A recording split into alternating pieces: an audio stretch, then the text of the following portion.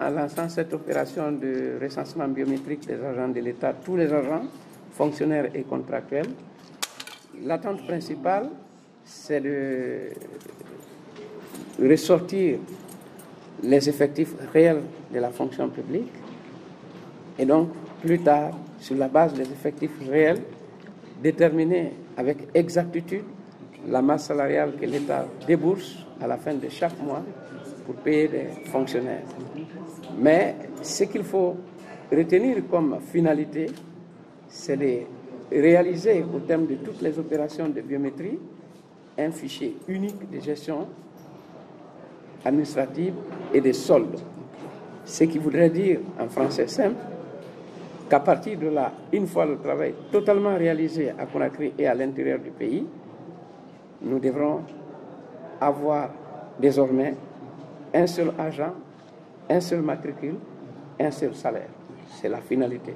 Normalement, l'effectif global prévisionnel est de 117 017 à peu près. Mais sur la base du, pré-enrôlement, on se retrouve à peu près avec, euh, disons, 86 000, 87 000 agents qui normalement sont censés passer la biométrie, c'est-à-dire ceux-là qui se sont effectivement fait pré-enrôler et qui ont soumis leur dossier. Parce que même si vous faites pré-enrôler, si vous n'avez pas soumis votre dossier, normalement, vous ne pouvez pas passer à l'instant T la biométrie. Peut-être qu'il y aurait un rattrapage, on ne sait pas. Mais si vous n'avez pas réalisé euh, ce parcours initial complet, vous ne pouvez pas passer la biométrie. Et la biométrie constitue le dernier passage pour les agents. Et le traitement, maintenant, il reviendra à l'équipe technique et aux prestataires de réaliser le traitement et de sortir le rapport avant de réaliser le fichier unique. Il faut savoir que pour cette opération, euh, nous faisons la capture d'empreintes euh, digitales des dix doigts des agents, l'empreinte faciale et aussi euh, l'empreinte de l'iris et la photo. Nous recueillons effectivement les signatures des agents, mais au prime abord, quand l'agent arrive, on procède à la vérification de son identité à travers le récépissé d'enrôlement biométrique qu'il a reçu et une pièce d'identité qu'il a joint. Donc ces informations sont matchées et puis sont conservées dans une base de données. Après avoir passé devant l'identification, donc euh, un agent vérificateur d'identité, l'agent passe devant la machine pour la, pour la, capture de ses empreintes et puis aussi euh, sa photo et il va recevoir un récépissé qui va lui permettre de recevoir sa carte professionnelle euh, à la fin des opérations d'enrôlement.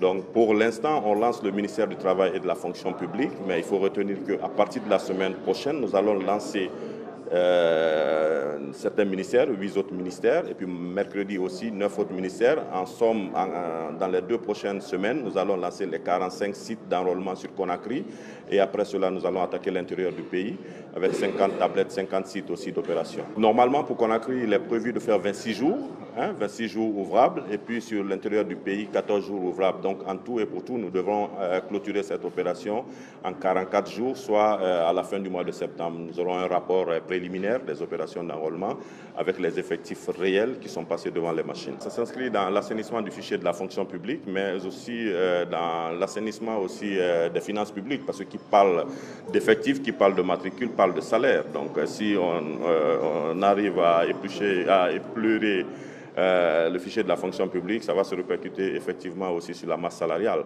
Vous avez vu tout à l'heure hein, comment les opérations se passent. Nous, nous allons nous assurer que dans notre base de données maintenant, qu'il y ait un seul matricule, un seul agent et un seul salaire. Comme ça va être une base de données unifiée, donc euh, tous les départements qui sont euh, impliqués dans la gestion du personnel de l'État vont attaquer ce fichier-là pour le traitement. Donc on peut vous rassurer déjà euh, au prime abord que les opérations sont sécurisées, donc les, les, extrants qui vont en sortir aussi seront sécurisés. Donc les cartes professionnelles seront avec des cartes à puce qui peuvent être utilisées pour d'autres prestations aussi sociales, par exemple au niveau de la caisse de prévoyance. Cette opération a commencé il y a quelques mois par le pré-enrôlement dont ils en ont déjà parlé. Et aujourd'hui, nous sommes arrivés aux phases de l'enrôlement biométrique. Donc, vous avez plusieurs équipements qui ont été livrés euh, pour cette biométrie.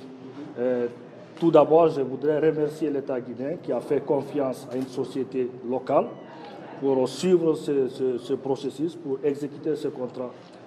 Aujourd'hui, nous sommes en train d'investir dans des domaines très pointus, comme la biométrie et l'identité numérique. Donc c'est le moment pour moi de remercier le gouvernement pour nous avoir choisis pour exécuter ce contrat. Aujourd'hui, nous avons quand même plus d'une centaine d'opérateurs qui sont recrutés, qui sont formés, qui vont être déployés à travers tout le pays. Et puis en termes de, comment en termes de tablettes biométriques, il y a plus d'une soixantaine de tablettes qui vont être déployées au fur et à mesure. Aujourd'hui, c'est le ministère du Travail et de la fonction publique. Mais dans quelques jours, nous allons lancer plus de 8 centres d'enrôlement partir du mardi. Le mercredi, c'est 12 autres centres qui vont être, 9 centres qui vont être lancés. Le jeudi, c'est 12 autres centres. Donc, nous allons déployer au fur et à mesure. Nous allons déployer au fur et à mesure. Par machine, au minimum, nous estimons à 60 fonctionnaires par jour. Mais ça peut aller, dans les, dans les essais, nous sommes allés jusqu'à 80 ou plus.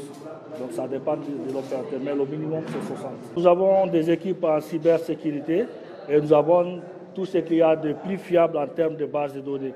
Si vous voulez, techniquement, ce sont des bases de données Oracle qu'on a derrière ou des bases de données MySQL, mais nous avons toute une équipe de sécurité qui travaille dans ce projet.